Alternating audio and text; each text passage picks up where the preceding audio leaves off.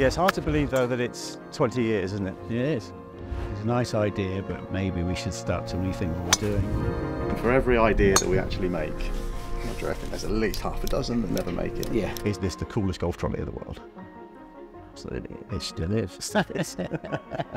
this is my favourite looking of all the things we've made so far. This is one of the big problems that we never quite solved was how do you hold that golf club in there and stop it from falling out? If it wasn't for this and for this idea, there wouldn't be a Stewart Golf really.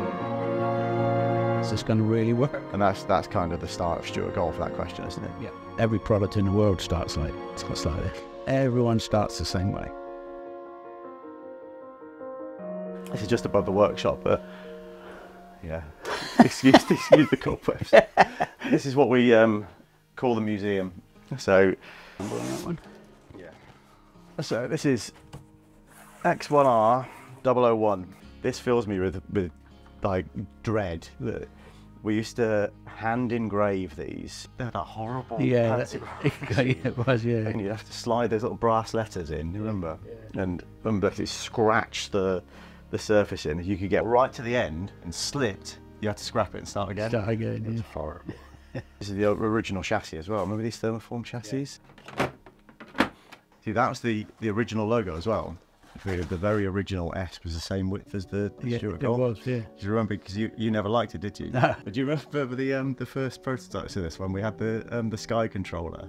Yeah, yeah. So we we had we had developing the electronics, but we didn't have the moldings and everything for our, for our own handset at the time. But the the button spacing that we had was more or less like the um, like the Sky remote control. So rather than basically having to pay whatever it's going to be 20 grand for the tooling for this or something, we bought like half a dozen Sky remote controllers and just put our electronics sets inside the Sky remote to keep it dry. so we're out playing golf um, with our with our with our prototypes with a Sky remote controller, and people are like, "Bloody hell, those Sky remotes are good these days." I said, "What else have we got in here?" So, well, that's it. So that's the first cue. Um, this is an R1. Yeah. The, the original, the original R1 box, the thin one. Okay, so this must be then an F1. This is my favourite looking of all the things we've made so far. Let's get this out. So, this was the the F1 because when we were developing it, it was the folding one. So we had this one folds up like this, and this was the first remote control golf trolley small enough to go in a Porsche. That was the cool thing about this. But this was a real a real pioneering product at the time. So it was 2008 we launched this. So a completely bespoke golf bag that housed the main support and handle. Still looks great. I still like it. Does it, does it fit? Yeah. So handle comes out of golf bag and then this is the clever bit in here. So you lift up the handle, lift up this little shaft here, and then you can see just underneath there, I'll lift this up a second, it push, pushes out these two little levers and they engage into the chassis. So this one movement is really elegant, locks golf bag to chassis and also locks the front of the chassis to the back of the chassis all in one bit. So now when, when you sort of lift this up, the whole thing comes with it. Still look great. It does, doesn't it? Best looking product we've ever made, that is. But the problem is, anyone buying it had to have our golf bag. So, and we couldn't make lots of different designs, so we just made lots of different colours, but it just wasn't going to cut it, unfortunately. we came out with the Q, which was only a couple of years ago, wasn't it? It's a, it's got a lot of similarities to this. The Q, um, obviously, is, is its own product. It owes a lot to this. It does, yeah. Great product. All the early ones all end up in here. One point, we'll, we'll get the, the the showroom sorted out in the factory and actually have these in there and explain what they are. I sold my business in June 99, completely unconnected to this. That's when we were in Florida on holiday, and that's when my dad came up with the, the thought. He basically said, let's turn the clubs up the other way so the, so the grips don't get wet when you're playing. Yeah, So that's where we all started. and that's that's kind of the start of Stewart Golf. That question, isn't it? Yeah. And then come back from holiday, and this is this is what we made. So, concept number one. This was it, 1999. So, clubs go in this way up, arranged on a little carousel system at the bottom, and then they all stay in there, and you can organise your clubs nicely. Get to the one that you want, you spin it round, gets to the front, take it out. Beautiful. We went from this one, which is obviously bits of MDF, bit of perspex, um, bit of plumbing tube, Plumbing tube and some football football cones. football cones. So this is number two. So this is what we made next. So this was what we made out of fiberglass. So we made a little form for it, and we, um, me and you did that. Are those the same doorknobs that we've got over in the kitchen? Got- yeah, they're in. I, I got I got a drawer full of them over in. Oh, that's that's a putter clip. That's what that is. Because you couldn't, a putter wouldn't necessarily go in here. So you, need, you figure we need the putter all the time. So a putter can be in the door. You're going to need that for pretty much, well, you're probably going to need that for every hole. After this, it gets a bit more, a bit less Heath Robinson and a bit more engineering. So that's what that one is there. So this is when we started doing some proper design. So this is, we go from sort of garden shed prototype to a bit sort of more engineering. So this is after Dave and John got involved, isn't it? yeah, Um, we're doing this on computers, these are, these are SLS parts and or 3D printed parts. You can see this is the start of of the direction of um, of styling that we were going in. This is one of the big problems that we never quite solved was how do you hold that golf club in there and stop it from falling out? So we're beginning to think is this going to really work? It's it's a bit big and bulky. It's a nice idea, but we're beginning to think hmm, maybe maybe we should start to rethink what we're doing. Because we knew this was always going to be a bit of a, a bit of a big product. It was always going to have to be like that, wasn't it? On a on some kind of base. Yeah, So we've been designing um, already because this was, you're never going to carry this thing around a golf No. course. We never believed in really in pulling golf trolleys around, No. which was the thing at the time. But if you could make a really good uh, traxi unit, as we were calling it in development, a powered base, and make this all fit together and somehow clip in, Yeah. then you can have a really cool looking sort of space age um, golf trolley. That was the whole thing. So we started designing uh, motors and control systems and remote control. Um, so that was when remote control came in. We were like, because nobody was really doing it at the time. So, but we started looking at it and going, you know what, remote control, this is definitely the way to do this. Really, the principles in that. So, okay, well, if you're going to do remote control, then what you need to do is make it really stable. Um, it's got to well, obviously work from a good range. It's got to be really stable and it's got to look great. You cover all those bases, and then we've got a chance. That was our whole thing, wasn't it? So we had three years worth of work. Maybe we don't do this. Maybe let's just make an, a, a normal golf trolley that you can put uh, any kind of golf bag on. so all this work went by the side. we- It's so far removed from what we, we now do. But actually, if it wasn't for this and for this idea, there wouldn't be a show golf rail. If there's, it wouldn't, we wouldn't be here. Yeah, surprising what you can make, and a little workshop and with bits of fiberglass and Bit of imagination. a bit of imagination and stuff. So let's have, let's have a quick look at this at this picture over here. So we've got so there's there's some gems on here. Um, this one here, March 2004, first the first X1R delivery. I was in my car. So that's that's you with um with that that other prototype. That's that one, isn't it? Oh, this I mean this is even even earlier on. Look, look. So basically that's us trying to work out how to balance the product, isn't it? You know, of decks in, they're still in the workshop there. Yeah, yeah. Actually, this is cool. There's a, there's a nice story behind this. That's um, that's my granddad. That's Roy. That's uh, Dad's dad. But he was shorter than me, and he's obviously about three or four inches taller than me in that picture. So we did this photo shoot at Wentworth. But Grandad was supposed to be coming in for the for the shoot so we could get a photo together. And he got lost. He got lost. We did that photo, um, and that was a guy called Fred McCluskey who was um, who was working for us at the time, working on, on sales and marketing to get us launched. Um, so this is in the in the early days of Photoshop. So Grandad then turned up. We did a photo again. Um, Laura, that worked from, uh, from my brother, he uh, she took Grandad's head, put it on Fred McCluskey's body, um, who was a big six foot uh, northerner. So, then, for just for fun, we had that that photo printed on business cards. He, he had cancer, didn't he? Yeah. Um, and so he was um, when he was going to his um, bridge nights and, and whatnot, he'd be handing out his business cards, saying to all of his mates, "Say, God, look what this cancer's done to me. I used to be six foot two, and he's five foot seven. yeah, that's it. Yeah. Even this one, look, this is the first delivery to Harrods. Oh yeah, that's right. I forgot. Stop at Harrods for a Haven't while. seen The first massive shipment that went to first one to the states. Since 2005, we've been selling in America. Yeah, we've gone through a lot. Haven't we? it. it was good fun that.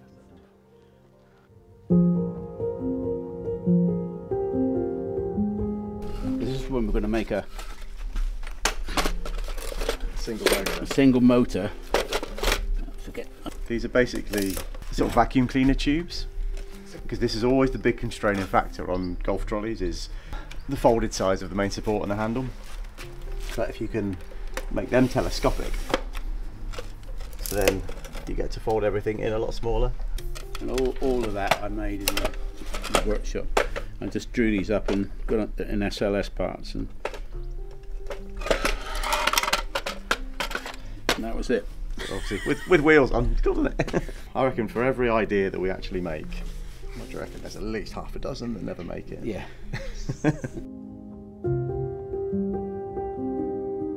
Tell us about the Christmas tree, Dad. Well, these, are, this was actually in the foyer of, of our factory. This was the company that I had. So all those drawings you were looking at, they're just uh, rack and pinions. So there's two pistons inside that go backwards and forwards and turn the, the, the central shaft, which is here, which has got a gear on it. And uh, so it turns the shaft 90 degrees and goes on top of a of a 90 degree valve, which are ball valves, butterfly valve, plug valves. But all they do is just turn it over. So all those drawings you saw up were different versions of this and various ancillaries and ac- uh, uh, accessories. To the uninitiated, it just looks like a really bit of weird sort of contemporary art, doesn't it? Yeah. It's just a reminder what paid for the house. Yep. I always used to explain, whenever my friends asked what they were, my, my sort of one line simple explanation is that basically they're, they're very, very chunky handles for very chunky taps. Yeah, basically, that's the only. I think if you got a handle like that and do that, that's all these do. It was always so important to us to get that that look right, wasn't it? It's all about styling. But it was always going to be different. So if we're going to make a splash, then Make it look gr- yeah, let's sort of do it with a bit of style. I mean, there's a bit of artistic license on this because they It wouldn't work. it wouldn't work. None of it would work. This is the, the problem with sketching, isn't it? So this is this is even um, before Stewart Golf. It was Stewart Concept. It was. Yeah. What Well, we doing? StewartConcepts.com on the on the side of it. Ah, that's when we were going to have. We were going to start a design company, weren't it? Yeah. Instead of, instead of uh, making stuff. Golf company. Yeah. Yeah, that's right. Forgot about that. Do you remember when me and Dave were making them out of foam to try and style them? And we'd made all these legs and things in it, but it was it looked fine, but it was really delicate. And Grandad came and sat on it, slapped it in half and crushed it. We've been working on it for about three weeks. this was the change point, wasn't it? Yeah, yeah. That that yeah. No, that's a that's a really no, pretty much that's the X series. That's it. it? that's it now.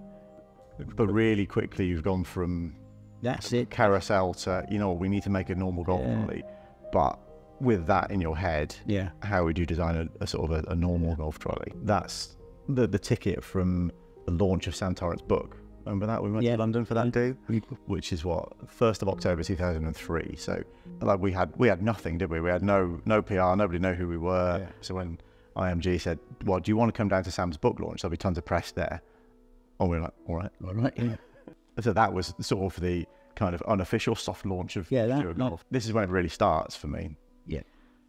So this was in today's golfer, which um, I mean still now is, is a is a huge title, but back then was easily the biggest um, golf magazine in the UK.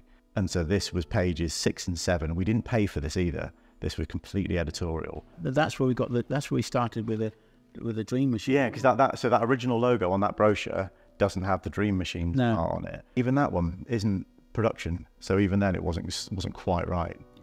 So that that was February 2004. So even then, we weren't ready to actually ship anything by that point. This is October 2004. So by this point, this is when we've actually started um, shipping product. We- It kind of sums up the market at the time, doesn't it? So It's the I mean, don't know. frame. yeah, just a, a frame, a battery, um, and a motor. This is kind of what, what we're in it for. So, the the golf golf world verdict, an, an outstanding trolley. Not only does it look good, but it performs better than any others tested. December 2005, the GQ's annual 100 best things in the world list. We were number 35. Superman is 34. Right. So we're one we're one behind the Superman. We were ahead of the Range Rover Sport, David Beckham's football boots, and something else that was really cool at the time. Uh, I, I pulled this one out because that's the this was the first custom trolley we ever did.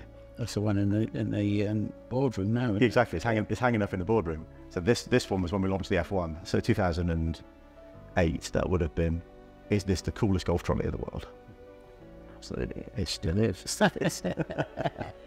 I'm glad you kept it all.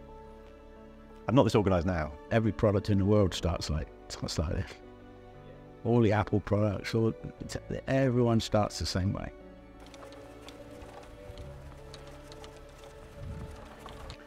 Let's see if I can do this with, without getting it into the fields. Go on then, show us the way. Okay. What we, what we playing for, by the way? What we're playing for? You don't answer that. I can see I can see your brain, Mm, your cogs turning. How am I going to win this one? What should I give you? What? Shot a hole? Yeah, shot a hole. Okay. Oh, lovely shot. You don't want that one back, do you? No, I'm taking that all day. See, that's because there's money on it, isn't it? Always over there. Through though. Yeah, it's hard to believe though that it's 20 years, isn't it? Yeah, It is. 20 years. And the thing is, that's actually 20 years from launch. That's not 20 years from when we started messing about in the coach house. Yeah. We're not. We're not. We're nearing 25 for that, you know. Yeah. Which is weird because like I'm, I'm only 25. So Yeah. You're catching me up fast. yeah, if you get away with this. No, no, it's going right at the root, isn't it?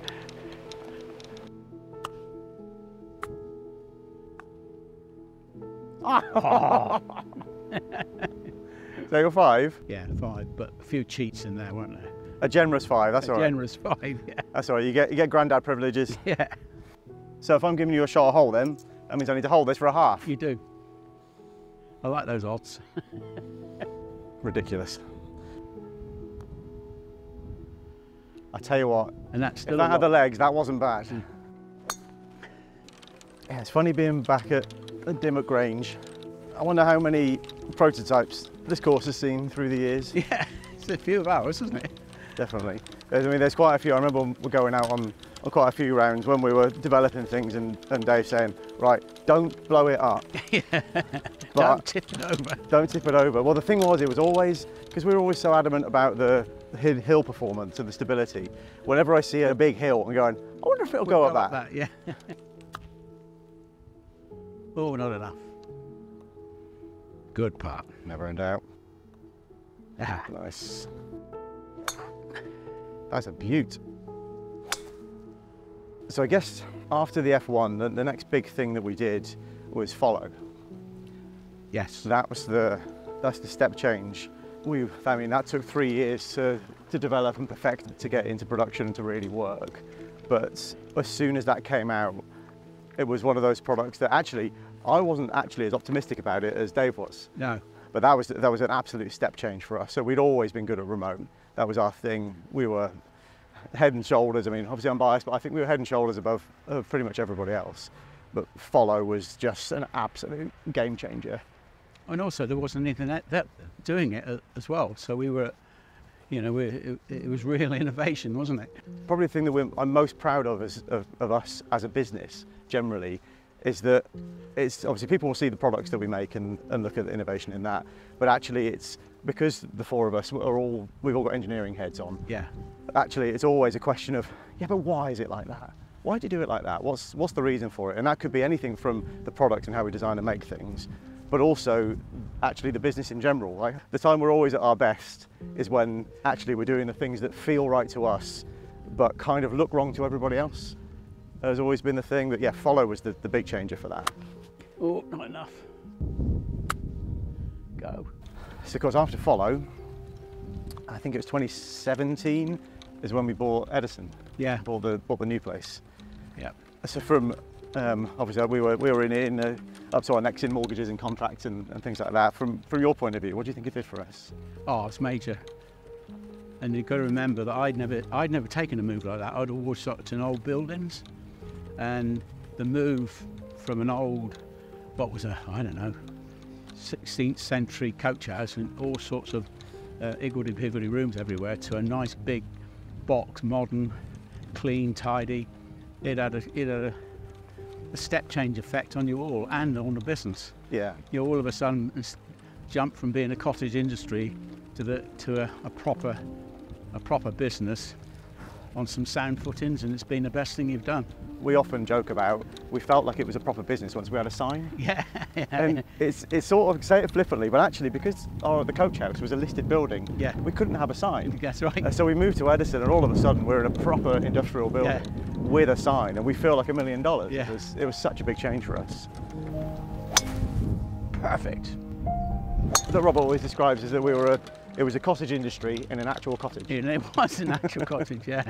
But I think just like for every, like you're saying, for everybody in the business, all of a sudden it, it went up two or three sort of gears, didn't it? It did. that this is a professional manufacturing business. So although I'm not necessarily, I'm not a single figure handicapper, I'm not out sort of three times a week playing golf like a lot of our customers are. Actually, the passion for me comes in sort of in the business and the product and the creation, that side of it. I think that's the, And I, really I cool thing don't think a lot of people realise how much fun it is building business. You know, just it's just fun. And it, you know, I, I I don't think I've ever worked a day in my life because I always enjoy it and just build. It's just it's just so much fun. Good hit. It's just such a cool technology, isn't it? It's great. It's one of those things that once it was a, it wasn't a straight line journey to get there, but once once you've got follow nailed, yeah. it's just the coolest thing on the golf course. So I tend to we always have this this this um, sort of frequently asked question of like when do you use follow, and it's and the, the textbook answer is you know when there's not things in the way and bunkers and cars and stuff like that.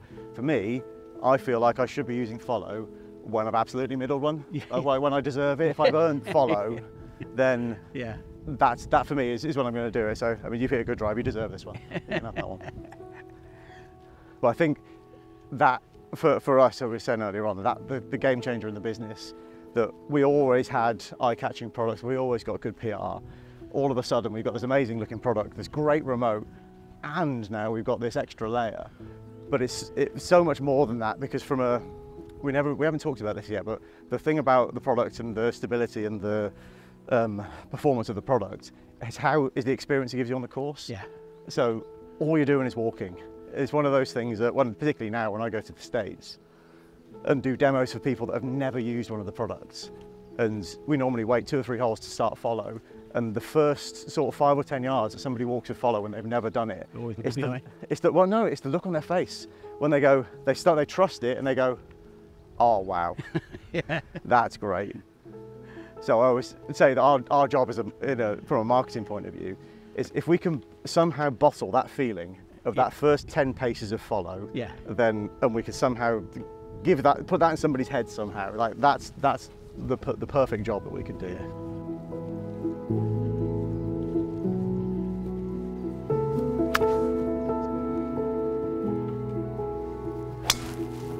Oh, lovely shot.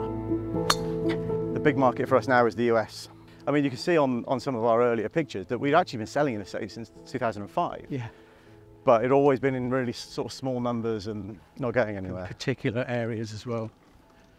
but that was the big leap for us. So we set up in uh, set up our own business. That was the biggest thing we learned was if you're going to do business in America, You've got to be there. you need to be you've got to be there. So we set up the business.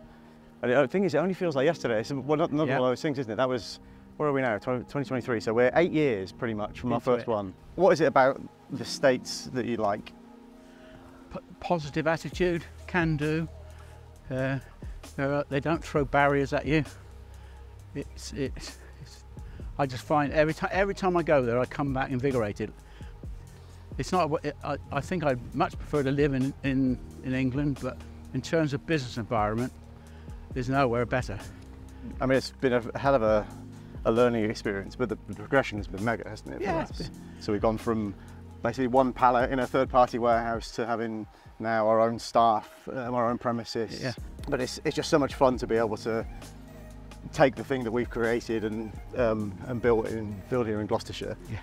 Um, and, and put it all over the world. And the thing is, you get the same kind of plaudits as well, which is great. One of the things I'm most proud of that again most people won't see when you just sort of look at our website and see the golf trolleys and the tech and and that is is the all the people behind it and the kind of culture that Yeah. we've got.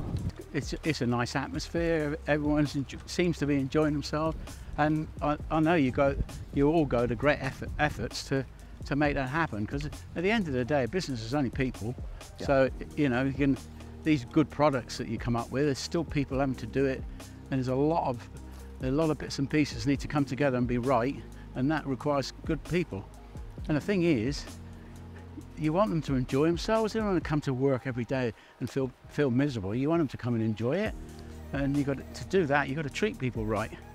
So we, we've we've actually been asked to talk about about the future, which we can't really do.